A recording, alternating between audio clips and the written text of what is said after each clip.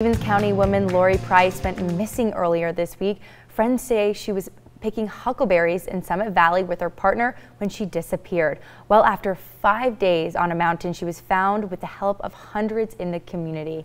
KREM 2's Shayna Waldtower brings us more on the people behind this rescue. Shana? Yeah, thanks, Danamarie. About 250 people to be a bit more exact, and that's just the ones who were on the ground looking. There were others setting up a Facebook page, collecting donations, doing so much more, all to help find a woman many of them had never met. It all started around 5 a.m. on Monday. Lori Price and a friend went huckleberry picking on Huckleberry Mountain. They talk back and forth, and, and he says he's going to go and dump his bucket. And when he comes back, she's gone. So he looks for her for a long time. And then he comes down the mountain to get help. And this is what sparked the community wide effort to find Lori Price. Police say she suffers from dementia, which would make the search even more difficult. But word spread quickly, and in just a couple of hours, neighbors were showing up to help. Went up to the top of the mountain the first day, and there was tons of people. I can't even begin to count how many people there were. There were people everywhere.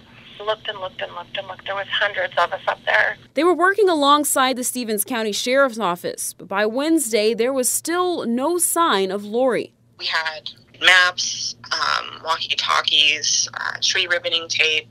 It was just, it was looking grim, definitely on day five. Until Friday afternoon, when one neighbor, Steve Gibson, decided to trek up the side of the mountain as he looks up, he sees somebody squatting down picking berries.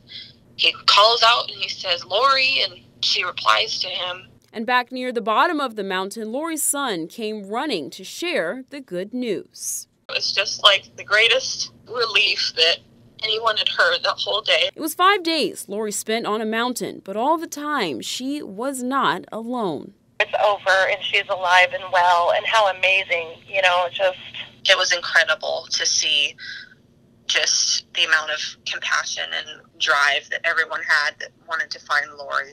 I'm still just in shock about it because it's it's really incredible to witness that. Now, police say they did find Price with some minor dehydration, but she was taken to a hospital and as well now. Now, many are saying they're just using this as a time to take a lesson to make sure that nothing like this happens again. They're using maps, they're making grids, just scoping out the area just to make sure that they know the area well in case, again, anyone goes missing in this area. Reporting in studio, I'm Shayna Waldtower, KREM 2 News.